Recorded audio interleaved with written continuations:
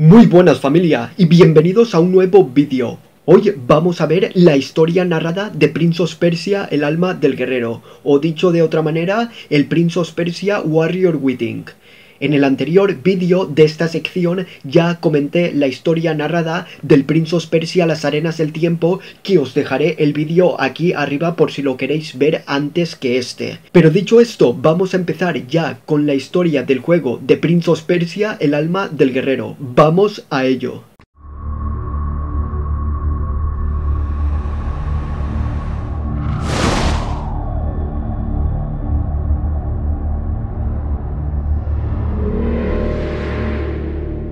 En el principio la pantalla enfoca al mar y se oyen los pasos de alguien corriendo. Después se ve la ciudad de Babilonia y luego se muestra a alguien escapando de una sombra o monstruo, que va arrasando con todo a su paso, incluyendo un perro que asusta al príncipe, hasta que llega a un lugar sin salida, en concreto una puerta cerrada al final de un callejón, y se revela que es el príncipe. En ese momento, de forma aparentemente endemoniada y resentida, voltea resignado a la pelea para mirar a su perseguidor.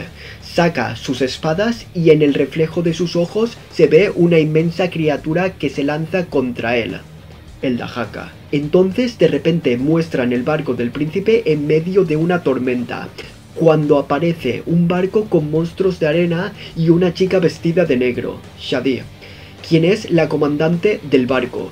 El barco enemigo lo aborda y mientras matan a todos, el príncipe va en busca de la chica de negro para matarla. Pero esta, al ver que no podrá vencer al príncipe, le dice que la emperatriz lo ha subestimado. Distrayéndolo con estas palabras, él le pregunta si la emperatriz le ha enviado y ella aprovecha para quitarle la espada de águila, lanzándola y clavándola a una viga. Y lo lanza al agua dándole patadas. Entonces vemos una visión del príncipe en la que habla con el anciano sabio, al que tanto cariño le tiene.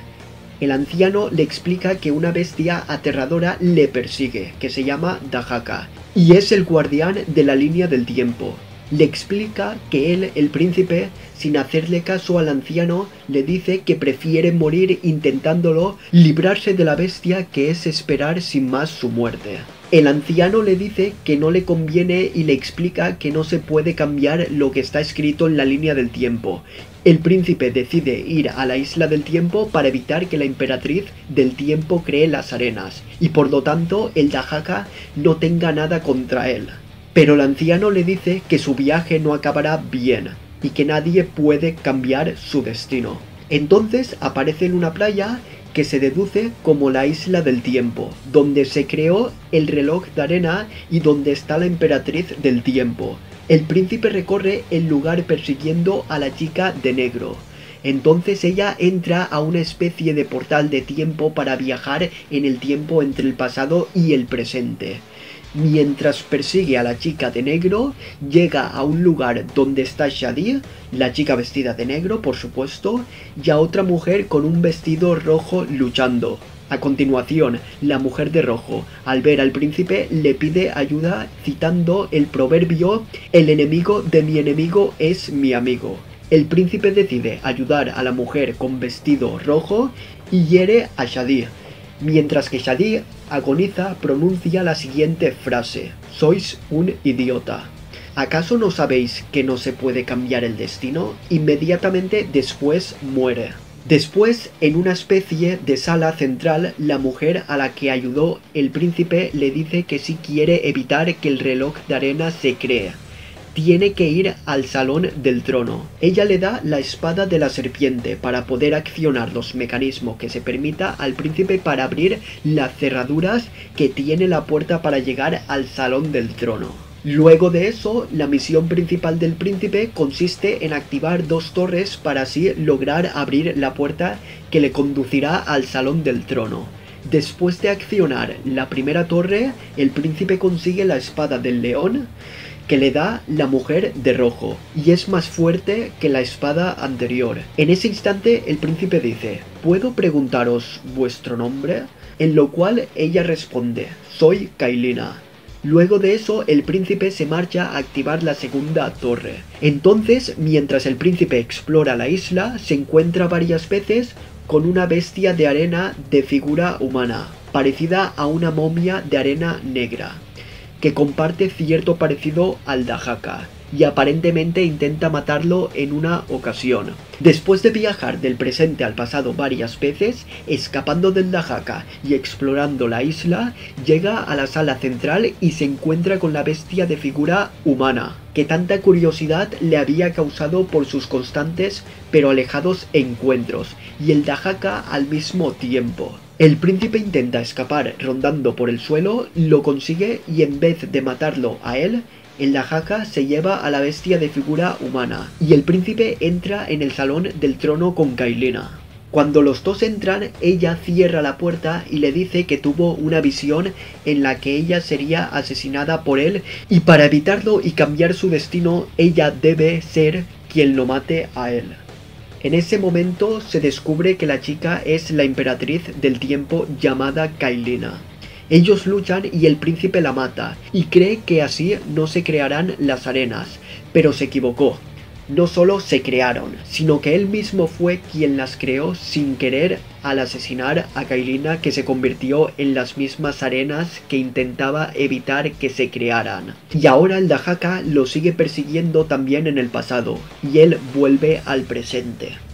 Entonces el príncipe, en las mazmorras y habiendo perdido ya toda esperanza, ve al Dahaka tratando de destrozar unos barrotes para llegar hasta él y le dice que venga a por él, que se rinde y que si lo quiere, ahí está. De repente descubre unos escritos que le dicen que hay una máscara que le brindará una segunda oportunidad, a lo que él dice, una segunda oportunidad para fracasar pero rápidamente piensa que si logra matar a la emperatriz en el presente, el reloj se creará, pero él nunca lo habría abierto, y así el Dahaka no tendría nada en su contra.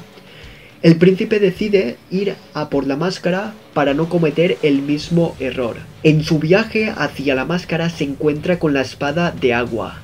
Esta solo aparece si se recogen todas las mejoras de vida, la cual esconde misteriosos poderes y cinco armas secundarias misteriosas. Cuando consigue, la máscara se transforma en el espectro de arena, que no resulta ser otro que la bestia de arena de figura humana que él observaba de lejos durante su recorrido por la isla para activar las dos torres.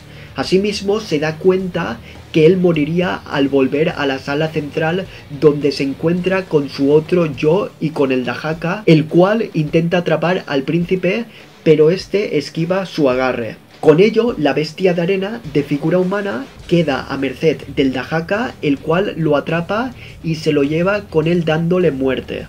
Para deshacer el efecto de la máscara tendría que matar a su otro yo, y la forma más conveniente era adelantarse rápidamente alejándose del Dahaka. Con ello se invertirían los papeles y sería entonces el príncipe quien quedaría acorralado por el Dahaka.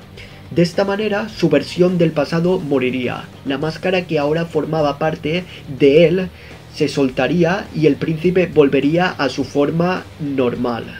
Así entonces, el príncipe vuelve a hacer lo mismo que antes, ir al Salón del Trono para esta vez llevar a Kalina al presente. En el transcurso del viaje se puede observar cómo se encuentra con su otro yo, y cuando pensaba que él quería matarlo, en realidad lo salvó de un enemigo que tenía detrás. En este punto vuelve al mismo lugar que antes, donde están los dos príncipes y el Dahaka. En ese momento el espectro de arena del príncipe recuerda lo que hay que hacer y se echa atrás.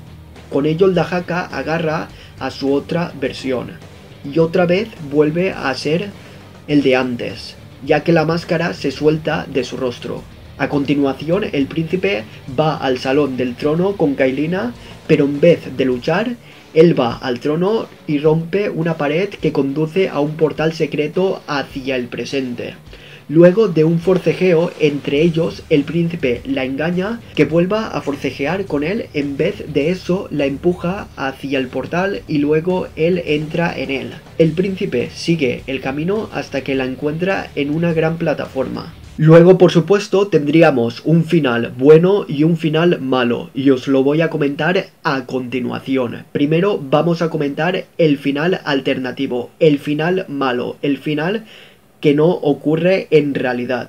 El príncipe lucha contra Kailina y la mata otra vez. Entonces aparece el Dahaka, pero no quiere al príncipe, sino a Kailina y se la lleva junto con el medallón del tiempo que lleva el príncipe, la última reliquia de las arenas del tiempo, ya que nunca se crearon las arenas. Entonces el príncipe escapa de su destino y vuelve a una Babilonia bajo ataque escuchándose el eco del anciano sabio diciendo, no podéis cambiar vuestro destino, nadie puede hacerlo. Dicho el final alternativo, ahora vamos a comentar el final verdadero que ocurre en el juego, el final que normalmente debía de ocurrir. Por supuesto, este final solo ocurre si tienes la espada de agua. El príncipe intenta razonar con Kailina cuando aparece el Dahaka y vuelve a ir por Kailina. El príncipe, sintiéndose impotente, exclama con furia, es todo culpa vuestra, y ataca al Dahaka con la espada.